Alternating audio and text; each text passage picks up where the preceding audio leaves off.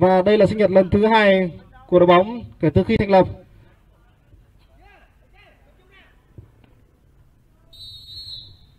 Và như vậy là trọng tài Vũ Văn Vũ đã nổi còi cho trận đấu được chính thức bắt đầu.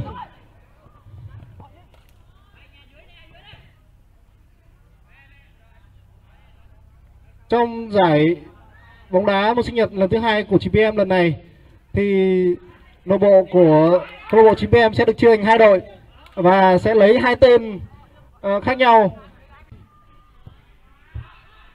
Và số 11 Trần Văn Thống.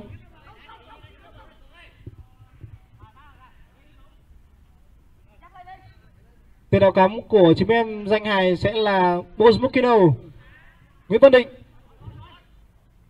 Một trong những tiền đạo có khả năng tạo tiếng cười đột biến cho trận đấu ngày hôm nay cho khán giả. Sút vào. Như vậy là có bàn thắng một tỷ số dành cho nghệ sĩ nhân dân. Rất sớm, rất nhanh. Cầu thủ với cái bàn là cao phương duy. Một trong những tài năng trẻ mà 9pm mới đưa về đội bóng từ 3 tháng trước. Cầu thủ sinh năm 1900 99 thuận hai chân và có lực sút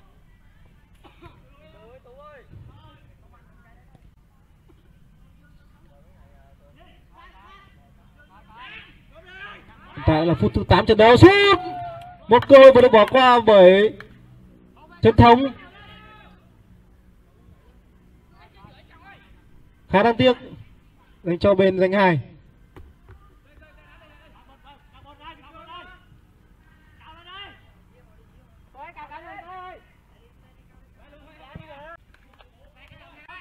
Thủ môn tú lê đã kịp thời bằng ra ép bốc.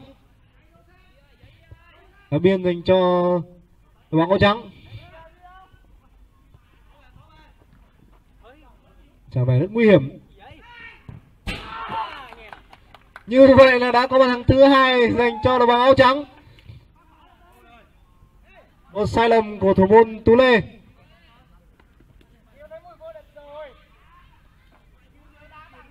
Vâng là một pha thể hiện tài năng trên sân khấu kịch của bên phía FC Danh Hai. Và rất nhanh thì tiền đạo công trọng đã băng vào dứt điểm. Nâng tỷ số lên 2-0 đã qua được Hữu Dương, nhưng lại người lại không qua được. Dũng Cung là Vinh Thuận. Cần bình tĩnh hơn nữa. Văn Cường. Nghe còi đi nghe còi đi. Văn Cường! Một pha quyết định dứt điểm ngay của Văn Cường. Và ngay sau tình huống dứt điểm vừa rồi thì Văn Cường đã quyết định thay người. Thay vào anh là Trần Văn Thống.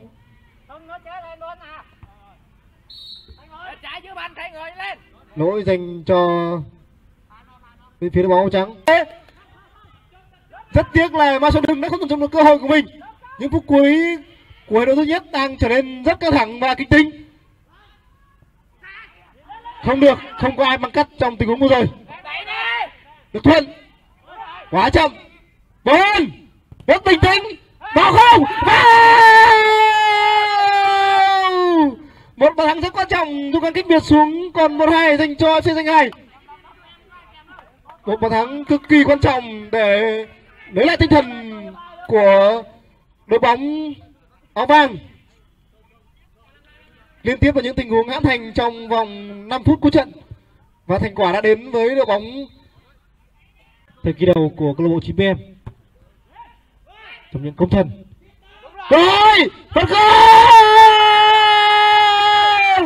rất nhanh rất nhanh. Không phải văn cường đó là cầu thủ mặc áo số 8 mai xuân hưng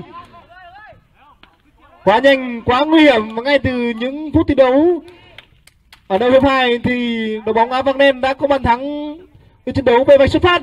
Và cầu thủ ghi bàn lại là mai Đừng một tình huống với những đôi chân bị căng cứng như này thì giải pháp bóng dài cũng là một cách tốt để tiếp cận được không thành. Không có lỗi.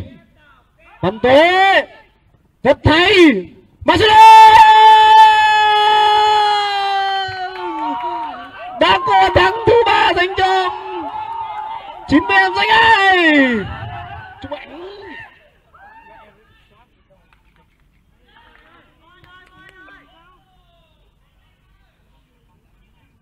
Một màn trình diễn cực kỳ ấn tượng của Sơn Hưng và anh đã có cho mình một cú hat trick không thể kể đến đó là một đường truyền cực kỳ tinh tế của lão tướng Văn Tế dành cho Mai Xuân Hưng. Và một cú dứt điểm vào góc gần đánh bại thủ môn Phú Minh Hoàng. Vâng Phú Minh Hoàng và Mai Xuân Hưng là hàng xóm với nhau, nhưng trên sân bóng thì của cầu thủ trẻ bằng áo số 10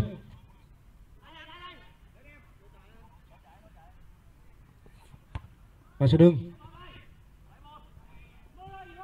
Bóng vẫn còn trong sân. Phản công mình cho Thạch Sang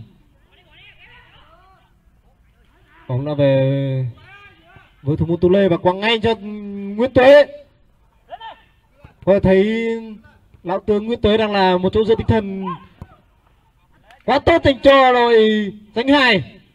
Dương!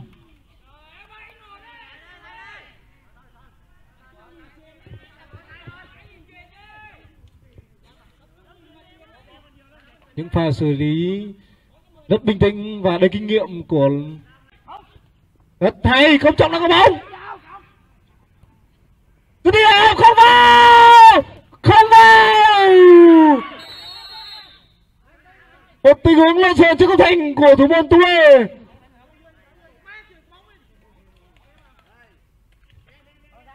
và anh đã đưa cái mặt của mình ra để cản phá, nhưng sau đó thì anh đã vô tình để bóng chạm tay trong vòng cấm. Chúng ta xác định có một quả penalty cho đội bóng áo trắng những phút cuối trận vẫn giống như những phút cuối trận của hiệp một thì những phút cuối trận của hiệp hai đang trở nên căng thẳng và kính hơn rất nhiều. Một quả sút 11 mét dành cho đội bóng áo trắng và người thực hiện sẽ là cao phương duy.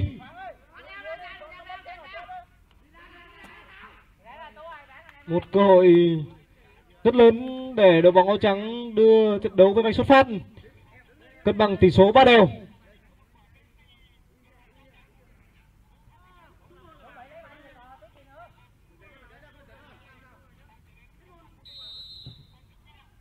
Phương Duy! Vào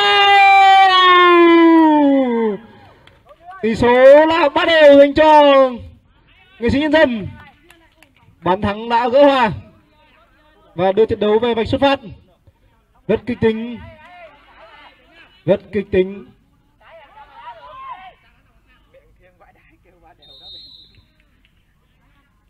Thống chân đưa vào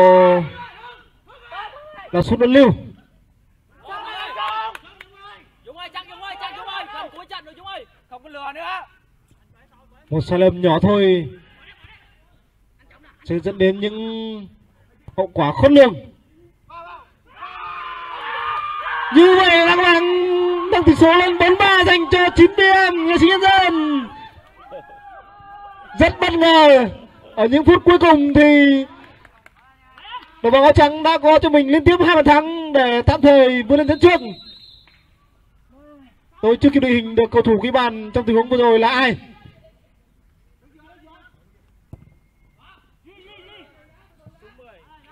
Tôi đang ờ, nói về là sút luân lưu.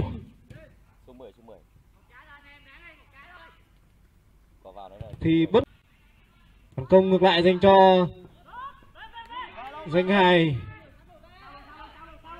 bắt buộc phải dồn lên để tìm cái bàn gỡ. Không chân không được rồi. Nhưng phút cuối trận thì thể lực hai đội đã thể nên yếu bắn tới là có bóng, không qua được cũng tới. Một tình huống bốn đấu hai nhưng không tận dụng được cơ hội.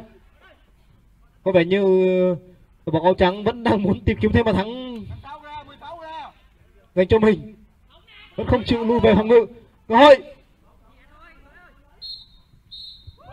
Vâng và như vậy là trọng tài Vũ Văn Vũ đã được còi kết thúc trận đấu bóng đá giao hữu nội bộ 9 FC một sinh nhật lần thứ hai của đội bóng. Kết thúc trận đấu thì đội bóng áo trắng 9 nghệ sĩ nhân dân đã giành chiến thắng với tỷ số chung cuộc là 4-3 với hai bàn thắng ở phút cuối trận của Cao Phương Duy. Xin được chúc mừng 9 em nghệ sĩ nhân dân. Một trận đấu vô cùng cảm xúc, vô cùng kịch tính và vô cùng quyết liệt. Vâng.